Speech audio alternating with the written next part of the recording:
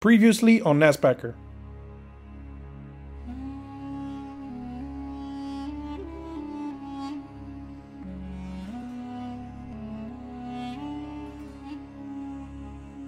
All of this used to be the fourth biggest inland sea in the world. That's very sad. I don't have anywhere to sleep, and I'm not sure I can go to the next city. They're proposing to me actually to sleep in their in their house. How do I look? Like a Shrek.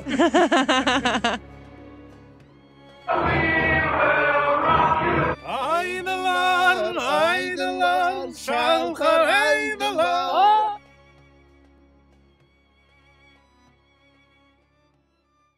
We're here today in the city of Khiva.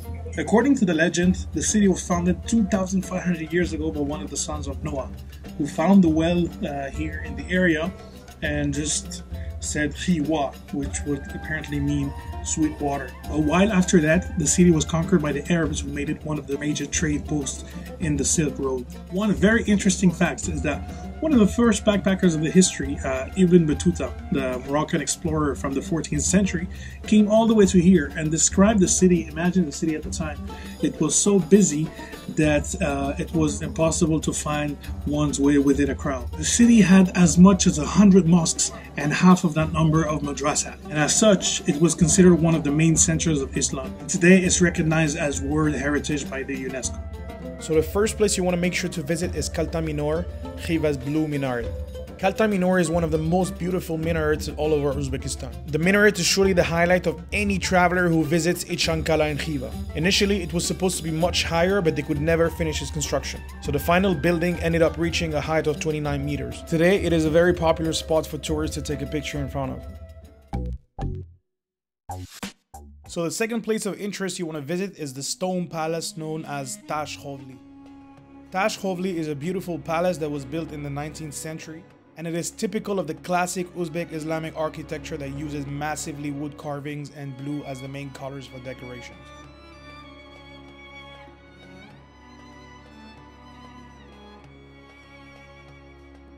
So we're uh, inside one of the rooms of the concubines of the the king. That's actually the harem in here. So he had around 40 concubines, and each one had a room.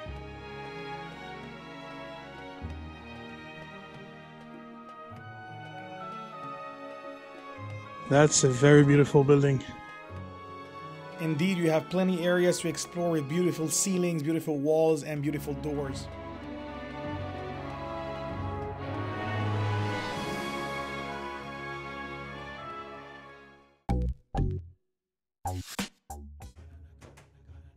Apart from some roofs where you can get some beautiful views of the city, the rest is full of mausoleums dedicated to the city's many saints.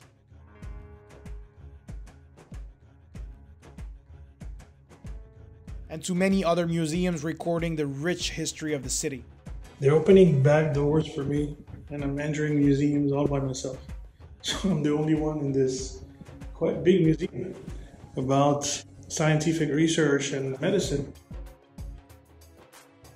So these are a lot of paintings and explanation about how they used to treat things. So you probably see here more Arabic students or merchants, maybe a somebody who came from uh, Hajj. The other museums are more dedicated to the rich culture of the city and are in honor of the local poets and even the local Mennonite community that came all the way from Germany.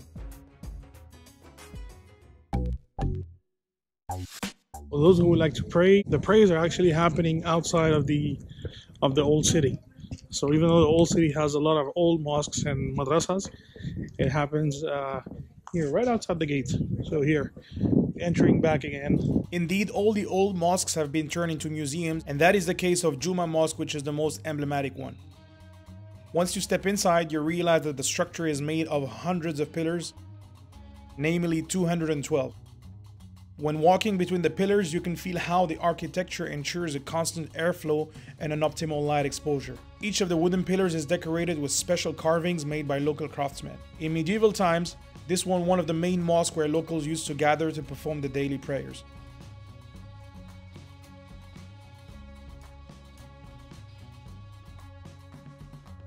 Now, one site you cannot miss in Hiva is to visit the highest minaret in Ichankala. The name of the minaret is a combination of the last two rulers of Hiva, Islam Hoja Minaret. The tower is very beautiful, nicely decorated between the blue and green patterns and the beige of the bricks. We're here to catch the train now to go to Bukhara.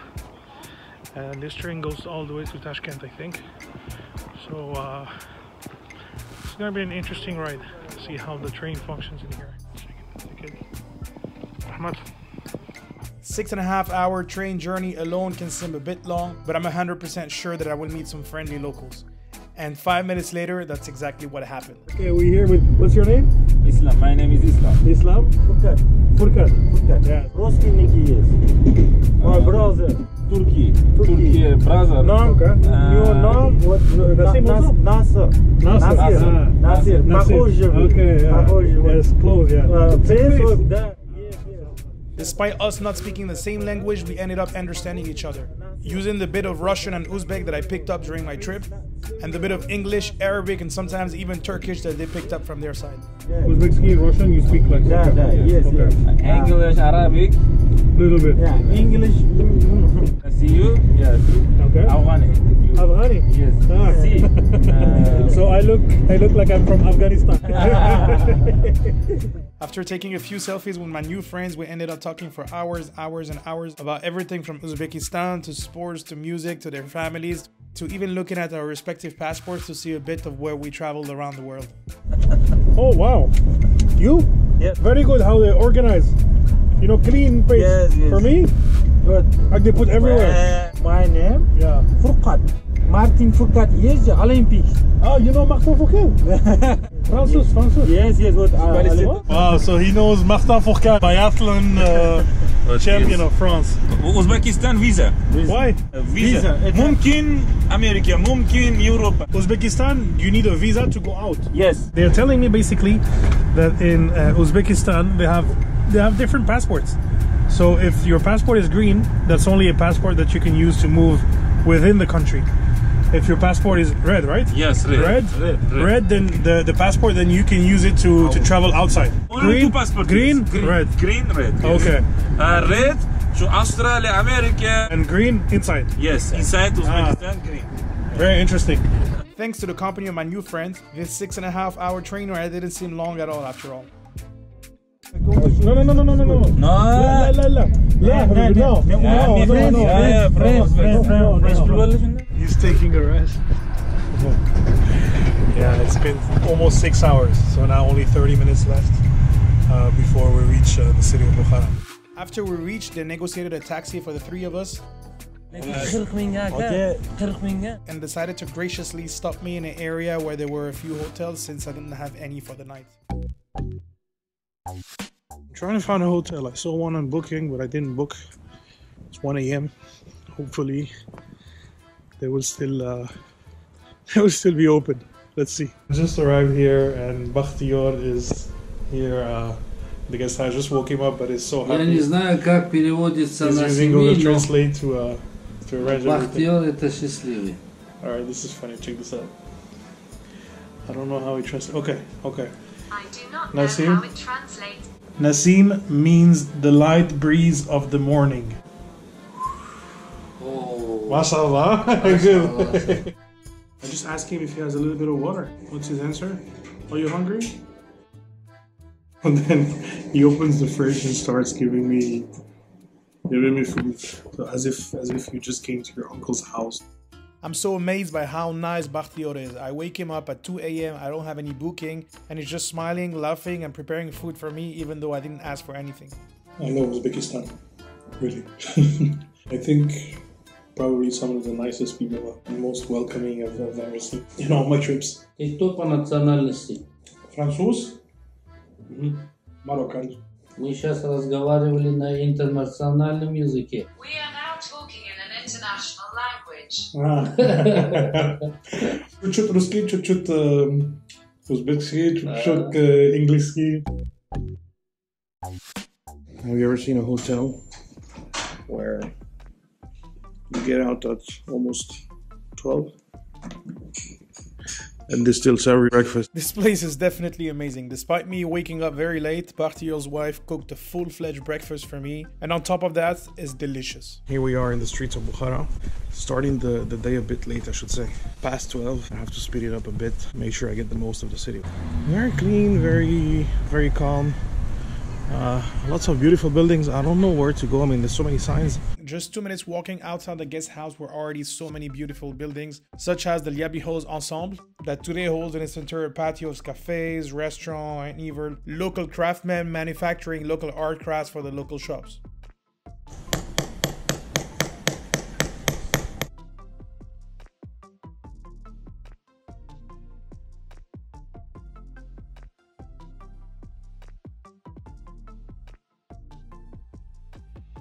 Decided to uh, walk a bit away from the main uh, old city just to see what the rest of the city looks like. We're just entering some small streets. Looks like a an old neighborhood. Construction site over here. Getting lost paid off. I'm looking at a, a very beautiful building just behind. Without even realizing it, I ended up reaching one of the beautiful sites of Bukhara called Chorminor. And just next to it was a very interesting shop collecting artifacts from the Soviet time.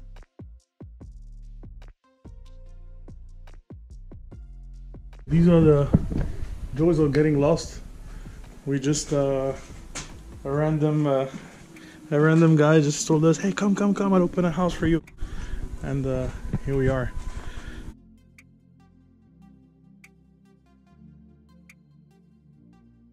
Always very curious, I decided to go up and check out what was there.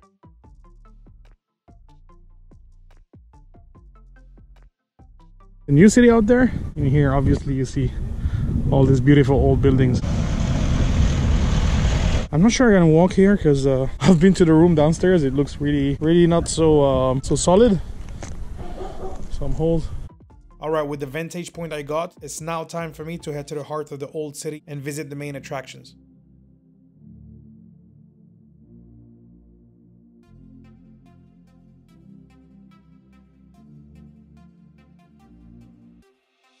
All these gorgeous buildings were a collection of madrasas and old mosques that are now turned into museums and places of business. So I kept walking and exploring until I got completely hypnotized by this very talented local musician.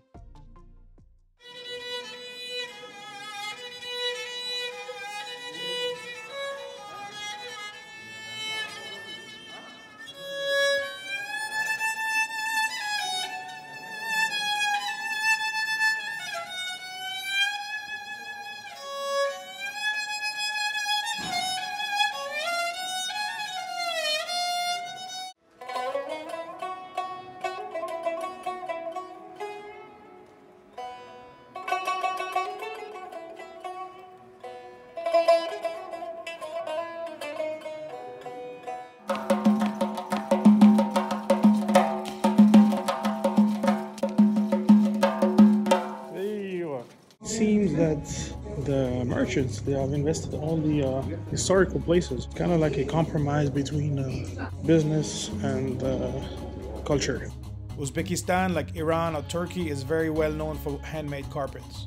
So I stepped in this handmade carpet store where every carpet is made by hand from the best material by local craftsmen. But little did I know that I would be looking at some of the most expensive carpets in the world. How much is this one? This one is twenty-five thousand dollars. Let's go touch a, a twenty-five thousand dollar carpet.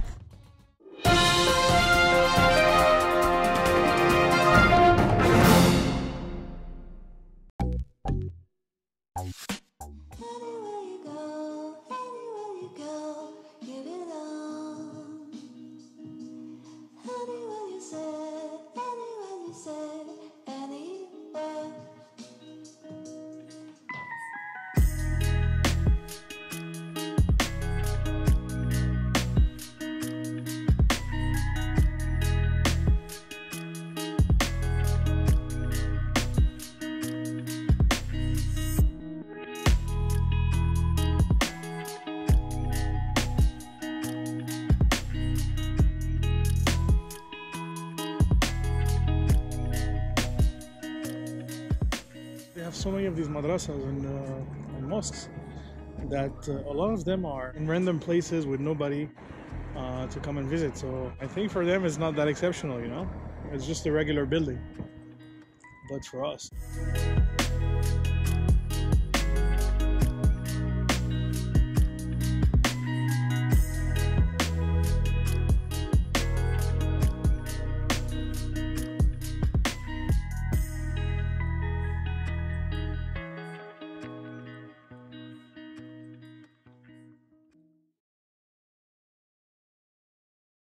go next to the mosque. There's some uh, reading of the Quran. We'll listen a little bit to that. Sit down and just enjoy it. وبنينا فوقكم سراجا وهاجا وأنزلنا من المعصرات ماء لنخرج به حبا ونباتا وجنات ألفافا سبحان ربك رب العزة عما يصفون وسلام على المرسلين والحمد لله رب العالمين all these kids started surrounding me, wondering what am I doing here. So this is a football field. There are coaches here, I think, and uh, I'm here to find the next Ronaldinho. Because yes, Ronaldinho is the best player in the history. No debate. No debate. You have Sue? Вода? Лоте? Yeah. Пятилитровый. Э, Полтора? Два? So. Короче, вот это А. общий 19. This is the end of the day. Looks like we've seen everything, or most of the things. But I think I'm, uh, I'm gonna go back to some of the uh, some of the sites that I really liked because now the light the light is perfect. So maybe I can get a few uh, a few more beautiful shots. It looks amazing again. Check this out.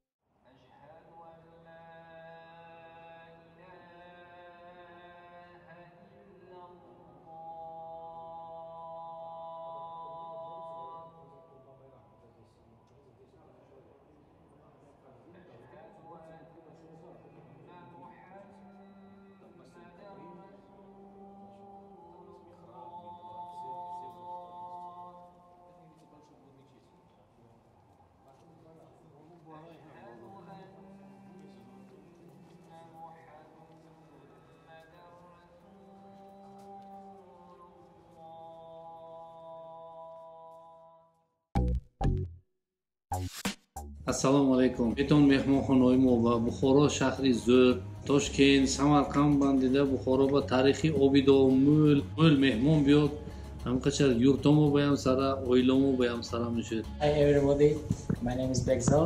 Welcome to our guest house located in Bukhara.